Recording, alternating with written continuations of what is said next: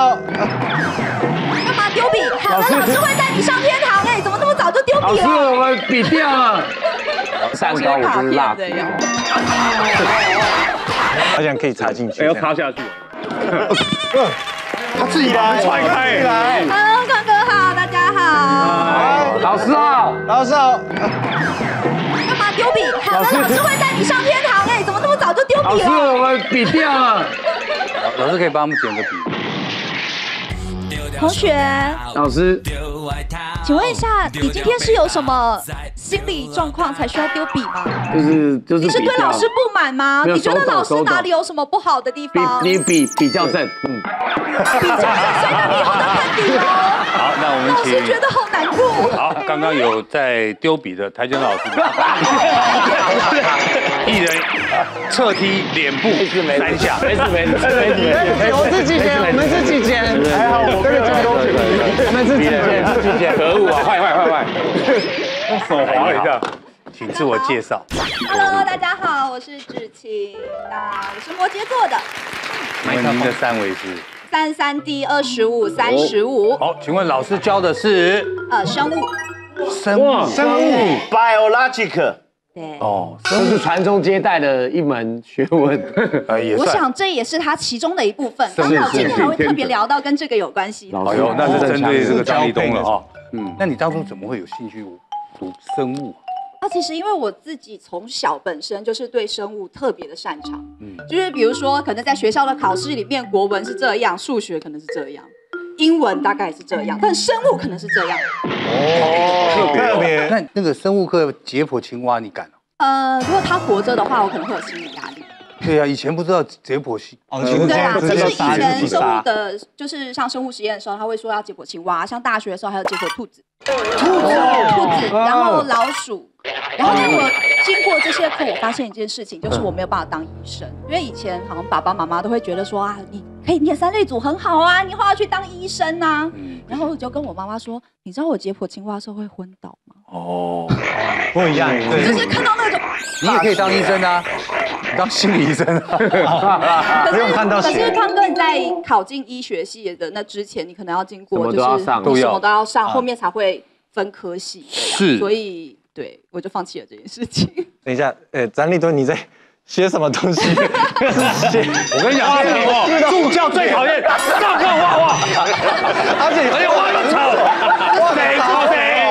没有啊，你是画他的，有一些学生就是会这样啊。你没有美术的没有，其实立冬哥我以前小时候也是这样，我的那个课本上面都画很多对啊图案，是哦。而且还会每一页画不一样的，然后翻开来变动画。那学生上课不专心，你哭了，哭什么呢？你还感动？就是我太棒了，不专心。没有，因为我以前曾经有一次就是就是带学生嘛，然后那个学生就是那一天上课就真的超不专心，就是你跟他讲什么他不理你，然后我就跟他说，就是其实这个钱就是也是爸爸妈妈交的，真的那我希望你就是这个时间你可以把就是该认真学习对认真的我们帮你复习，有什么不懂的这样，嗯然后他就想你很烦呢、你，然后就甩门就出去，哇，然后我在就想说室里没有，就是因为我们是家家教家教。哦，然后他就甩门就出去了，然后我就想说。嗯发生什么事？而且我其实那天有点难过，因为那天是我生日，但是我没有过生日，然后我来上课，然后结果就是我也不知道他可能在学校压力很大还是干嘛的，嗯然后就是突然就发脾气。怎么？讲？然后结果他出去之后，他再进来的时候手上端着一个小蛋糕，哇！然后就说就是祝我生日快乐，然后前面对我那么凶是就是为了要整我。哦，就是有个反 所以所以你们综艺节目把小孩带坏了，坏。每一次彭队这个过庆生都要搞这一套，有没有？不要整人呐，会哭。对对对，就是因为那时候我就想说，就是觉得很委屈啊，想说就是生日，然后我自己也没有过生日，然后结果你就这样整我。也是蛮贴心的。嗯，对，然后他有讲一些感人的话吗？对他有写一个你是蛋手写糕卡我就是蜡 个学生是女孩，我们听得很清楚，好不好？你是大哥，我是蜡烛，这这有错吗？因为浪漫叫那是一浪漫，对蜡烛好像要插下去是不是？配在一起好像可以插进去。哎要插下去了，没关系，我今天就是你的学生。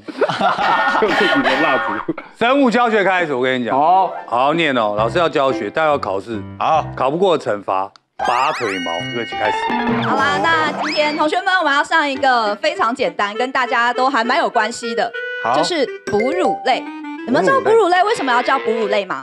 蓝色的，呃，因为很优哺乳哺乳哺乳类，哺乳类，真的哎，那除此之外还有呢？哎哺乳。喝奶喝奶的，喝奶长大的，喝奶，哎，重点了，这就是我们哺乳类的特征。为什么它会叫哺乳类呢？就是因为它们都是会帮它的后代哺乳。那除此之之外呢，还有什么样的特征？胎生的，哎，胎生不中了一半不一定。胎哥的胎哥的，对，因为其实哺乳类它有，就是像我们人的话是胎生嘛，胎但是其实也有卵生的。哦，哦，对，像鸭嘴兽，我们世界上呢卵生的大概总共有五种动物，一种是鸭嘴兽，嗯，另外四种是针眼，睁眼，长睁眼，睁眼长那不是偷看说瞎话。洗澡吗？就是它是一种鼠类。老鼠啊。那基本上，呃，它不算是老鼠，因为老鼠是胎生，它是自己另外一种。温血就是对。对 OK 因为基本上哺乳类动物都是恒温动物，？OK，对。所以一定是温血的。是来，然后另外呢，除了刚刚有说哺乳的这个重点之外，还有一个就是他们都是用肺呼吸，哦，哦，这很重要，这个很重要哦，因为等一下会有一个简单的随堂考要考大家，可以去透过这些特征呢，去分辨到底谁是哺乳类或谁不是哺乳类。OK，然后刚刚有说到的还有一个就是恒温，恒温，对，它是恒恒温温的。好，好啦，那简单呢跟大家介绍这个，那我们有小问题来考考大家喽。来，考试来做笔记，笔记给我擦掉。擦掉擦掉，好，来，请问下列何者不是哺乳类？一海豚，二鲨鱼，三金鱼。一、二、三。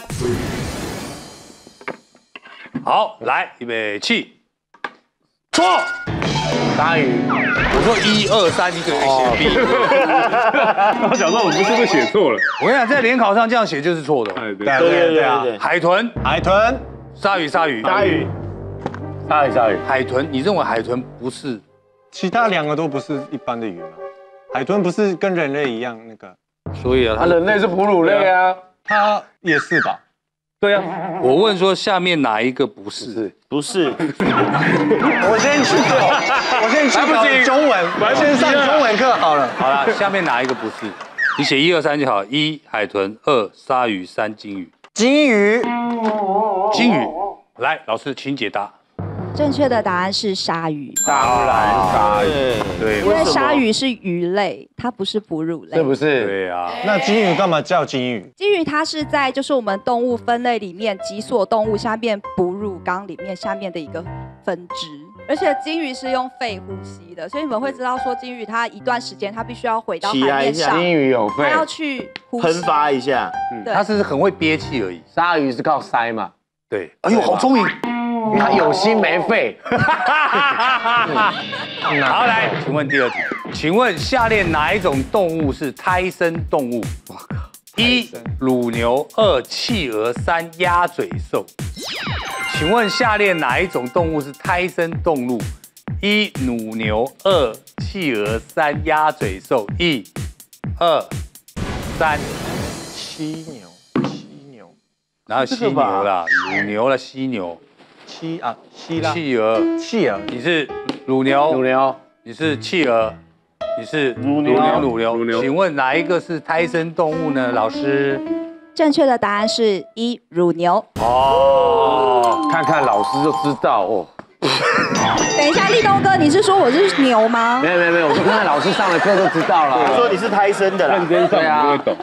企鹅是生蛋的，对，因为就会看到影片或者是那种动画里面，那个企鹅是它企鹅它不是爸爸是会孵蛋的，它会把蛋放在脚上面起来蛋。走路。夹着对，对，它会把它弄到它脚企鹅上面。蛋啊，夹蛋，对，企鹅的啊，土狗，你那个二专是花钱买的，对不对？有那种来，绿蜥龟妈妈在海中完成交配之后，在夜晚爬上沙滩产卵，再用沙子将卵盖住，接着回到海里，它就不管了。